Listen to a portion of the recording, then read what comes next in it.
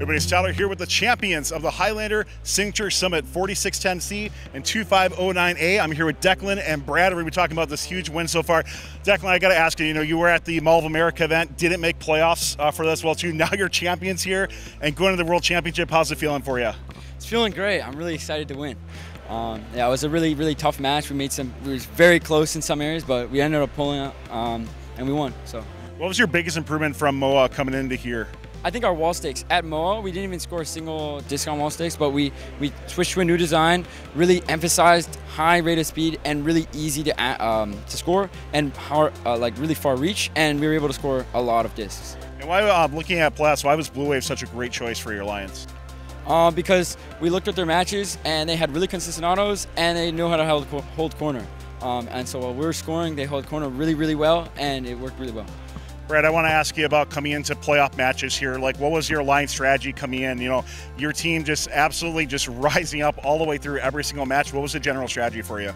I mean, the general strategy was uh, focus on positive corners, and also because we have a really strong neutral stake, we could take advantage of that and get the top rings by scoring onto the neutral stake going through round of 16 all the way up into the finals, did that strategy really change at all for you depending on who you're playing, or was it pretty consistent for you? It was pretty consistent. We we just went for positive corners, defended them, and if we had the chance, we could go get a neutral stake every so often. In, in your opinion, why did your two teams work together so well? I mean, um, because auto, uh, we won all the autos in every match, and auto is like a main determining factor for like which team wins. So I think that was the biggest thing that worked well for both of us. Yeah, looking at finals, right? Uh, taking autos pretty much every time. Now, unfortunately, finals one had that DQ on that. How did you approach finals one going into finals two? Like, obviously, it's not a great feeling right away, but how did you just carry yourselves and continue your success all the way through into finals two? Well, we knew that if it wasn't the DQ, we would have won the first match anyway, and so we were like, we can beat them. Um, we know that if we do the same strategy that we did um, where uh, we get the three mogos really quickly, um, then we're able to just outscore them, and that's what we end up doing.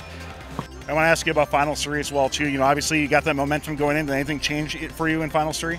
No, we really stuck to the same strategy of getting the two mogos first and then getting the third mogo um, and doing neutral stakes if we can.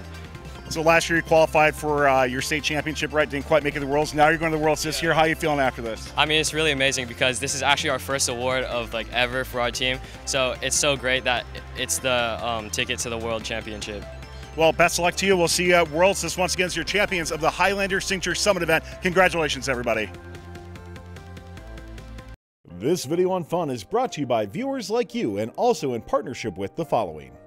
The Robotics Education and Competition Foundation provides fantastic programs for students from elementary school all the way through college. These include VEX, aerial drone competition, online challenges, JROTC, girl powered, scholarships, certifications, and so much more. To discover these exciting opportunities, visit recf.org and get connected.